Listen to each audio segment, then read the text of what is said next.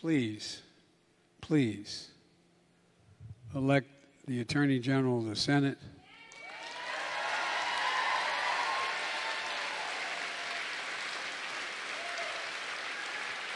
Elect that big old boy to be governor.